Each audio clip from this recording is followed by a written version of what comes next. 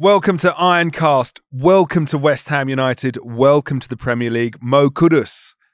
Welcome, first of all. Thank you, thank you. You left Ghana 10 years old. You go to Denmark, then you make your way to Amsterdam. What a journey to get to the Premier League. And now you today you join a club uh, as, as we speak, Sunday morning, top of the Premier League. Do you think about the journey you've taken to be here on a day like this?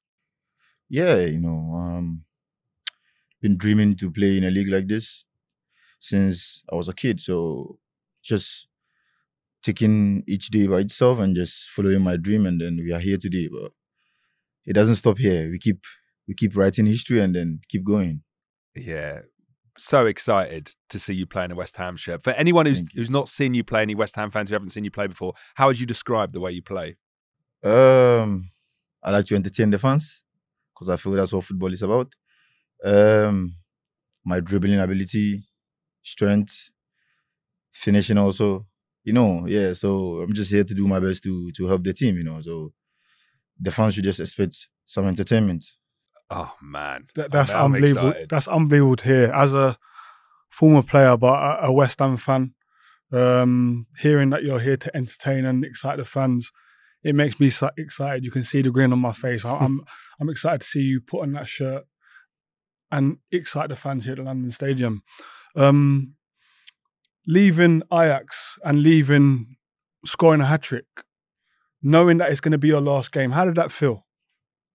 Um, felt good. Um, for me, the situation I was in as a player, the job I could do was just to do my job on the pitch, and I just did it on the pitch. The, and the, the reason why I say that, sorry to cut. The reason why I say that is because as a player, you know, like if you're if there's talk of you going to another team and you're playing a game, in the back of your mind, you might be thinking, "Oh, I don't want to get injured." But you, you went out there and scored a hat trick. Like that shows to me personally, as a fan sitting here talking to you, the mindset that you've got is different to a lot of other players. Um, yeah, I mean, um, when I'm on the pitch, all the noise outside it stays there. So everything on the pitch is fully on the pitch. So my full focus was on that game, even though there were other stuff going off off the pitch, and that's the job of my family and my agent to take care of that and fully focused on the pitch. So, and I live in the present moment. So, at that exact moment, I was at Ajax. So, I was just doing my best for the badge, and you see the same thing over here. Yeah, there was a lot of West Ham fans watching that game. I was watching that game. I wanted to ask you about the interview you did immediately after the game. The toughest interview I've ever seen a footballer get. You were completely grilled, but you said in that interview, West Ham, good club, and a lot of West Ham fans are, oh wow, this could actually happen. Did you get a sense of how excited West Ham fans were? Yeah, yeah, but um, definitely before the game, um, I knew there was um, it was almost done in, in between the talks of the club, so I just felt of just giving what was going to happen, you know, and yeah. that was literally it. Yeah, I think I think your honesty that you showed in that interview is something that our fans here will love in you as a player. Your honesty, your willingness to work hard. I think any new player that comes to, to this football club, this fantastic football club, should know and understand that you work hard first, you play second, which it sounds like that's you. You're going to work hard, you're going to play second, and you're going to entertain the fans. When you do that, the fans here will love you forever. I can tell you from from past experience. I didn't excite the fans like you're going to excite the fans. Yeah, you couldn't. But, you couldn't dribble. I think that's no, it. I couldn't. I couldn't. But I understood to work hard first, you know, and play for the badge. You've said it yourself already. Play for the badge. That will set you in good stead for uh, to to be at West Ham United. Thank you. Thank you for that advice. Yeah, I wanted to. You mentioned your dribbling. I mean, we've all all West Ham fans been watching videos of you. The dribbling is a huge part of your game. West Ham fans love players that run at run at opposition players. Is that dribbling something you've always had throughout your career? Though? Um, yeah, yeah. I think it has always been one of my qualities, and I think it started from my childhood club um, in Ghana, Strong Tower. I think the coach gave me the freedom. It was I was young at that time, so it wasn't really about the results, and it was just playing for the passion and for fun. So he just gave me the role to just anytime just get the ball, just try and take as many men as you can. So and naturally I've been built like with this low center of gravity to the ground. So um, it's easily for me to turn around and and yeah, I've, I've worked on that in the gym as well since I've seen that it's my strength. So I just keep building on it, and that's the biggest tool that helped me in most of my dribblings as well. Yeah. And you've just every player that comes to West Ham, they get this amazing little video which you've just witnessed about what it means to play for West Ham. I wondered how excited are you about living in London? You, I mean, you've just come from Amsterdam, a big city, but is there something you excited about living in London? Um, yeah, yeah. Um, this is my. I've not been to London many times actually. This is my second time, so I don't know much about the city, but definitely it's part of the game. You know, on and off the pitch stuff affects what's happening on the pitch. So definitely, you know, I'm open minded to to see what we have over here. Yeah, and then there's a part of that video where it says um, you can choose to live in the countryside or in the city. I wondered just so we get an insight into your cat. What, what you? Where do you think you're going to end up? You don't need to give us your postcode. We're not going to. But like, are you more into the countryside or the city? Living? Yeah, yeah, countryside because I like more chilled places with less busy. You know, yeah. less chaos. You know, that's when I have my peace with myself, and you know, I can resonate most most of my thinkings and stuff like that. So Oh, yeah. brilliant. Have, have you spoken to, to to Alvarez? Obviously, he's your teammate in in Ajax. Have you spoken to him about what it's like to be here and and and how he was welcomed by the fans? yeah, yeah. Great impression, and yeah, he he told me his experiences, and he's loving it so far. So he also pushed for me coming here as well, and yeah, I'm glad. I'm glad I'm here with him as well. Yeah. I actually noticed Edson put a post on Instagram and you did, I think it was just fire emojis. And again, West Ham has like, it's a clue. We might get Kudus. There's so much excitement from the fans. Um, you join us just the day after we had a fantastic result against Brighton and we've played really well against Chelsea. I just wondered, did you watch those games? Yeah, I watched. I watched the Brighton game. I was here after my medicals. I made it, and then I watched some part of it. Top performance. Yeah, you must be so excited to Yeah, be yeah, part of this team. yeah. I wanted to ask about um, you're a Ghanaian international since 2019 and the current Ghanaian captain, Andre Ayew, used to play for West Ham, and one of the most capped Ghanaian players of all time is John Paintsil. I wondered if you caught up with either of those two men about what it means to play for West Ham. Um, Ayew has been speaking highly of West Ham, you know, um, but John Paintsil is way older, so I don't. I didn't really get Yeah. the chance to to to to speak with him. Or but Andre is still in the national team, and he speaks a lot about his experiences in most clubs, and West Ham is one of the clubs that he highly, you know, speak highly of, you know. Yeah. Do you know number 14, the one you've selected, used to be worn by John Paintsil? That's great. It's meant to Yeah. meant to happen. it was meant to happen. yeah, He And- he was in my team. He was John Paintsil was in my team here. A fantastic character. Um, someone again who wore his heart on his sleeve, you know, and someone who who not just wore his heart on his sleeve, but his country. He wore his country. He he had his country on his shoulders. I know you're gonna have that being a, a Ghanaian. Um, the Ghanaian fans. Are we going to get more of them as West Ham fans? You being here, you you're gonna see. Yeah. Great. Um, do you know much about the Ghanaian Hammers? We've got fan club. West Ham have fan clubs all over the world, but the Ghanaian Hammers are by far, I'd say, definitely my favourite and everyone else's favourite.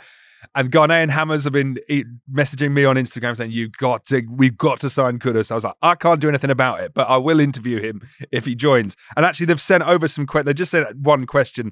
Uh, Abdul, the president of the Ghanaian Hammers, just wants to know how delighted are you to sign for West Ham, and when are you going to go visit the Ghanaian Hammers? Definitely, you know, um, I didn't know about them before, but when I had the um, intuition that I was gonna come here, you know, and I saw I saw them started mentioning me on my platforms a lot of times. So I click on it and I see um, what they do, how they support Hammers, and they are raising um, funds for some charity works and stuff like that. So I think it's brilliant. You know, it's more than just supporting uh, Hammers. So I think it's it's more than football, which which is all about people and stuff like that. So definitely, definitely.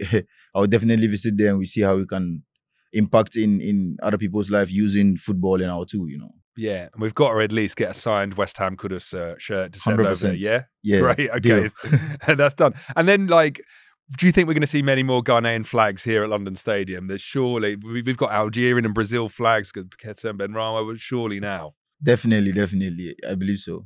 Um, and I wanted to ask about your highlight. I mean, you've played so many famous games for Ghana. In the most recent World Cup, you scored two in the victory over South Korea, which uh, you won 3 2. Has that been the highlight of your Ghana career so far? Um, yeah, I think I think because I think with the national team, World Cup is one of the I think the the, biggest stage in in world of football. So to to perform in that stage was yeah, I think it's one of the biggest highlights for me. Yeah. Do, do you know as well, Chris Hughton, Ghana manager, played for West Ham as well. Has he mentioned it? nah, he hasn't mentioned. He hasn't but- mentioned it. Oh, come on. You'll have to ask about his career. yeah, definitely. um, and then in terms of the games we've got coming up this season, now you're in the Premier League. We've got City really soon, Liverpool at Anfield coming up. Are there any fixtures you're really looking forward to?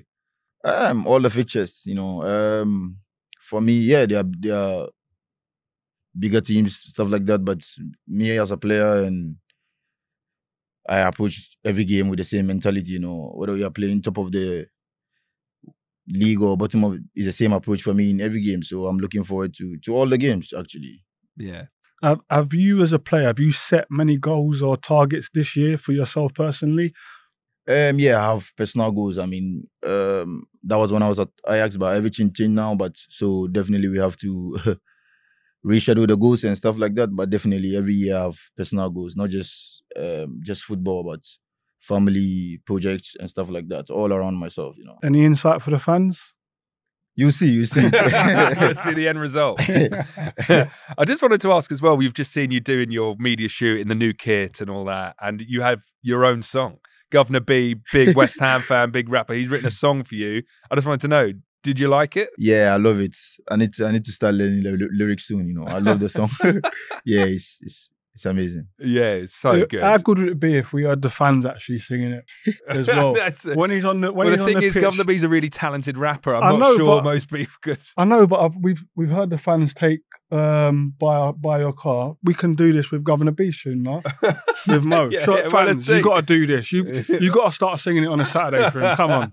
Well, we'll see. Yeah. We just wanted before we end, we've got ten quick fire questions for you, just to know, learn a bit more about you. Past or present player that you're most similar to? It's a difficult one. I have no idea. I'm going to say Yeah. dribbling one, Messi. Dribbling wise, I, don't- I know it's a big Messi, name, big hey, name, bro. that- that- that's a lot of Left pressure. a lot of pressure. uh, favorite stadium to play in? Think Anfield, Favorite holiday destination? Favorite place to go chill out? Ghana, Ghana. Ghana. Easy.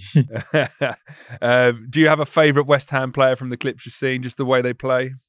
Paqueta, Oh, lovely. Favorite best teammate from your whole time playing football?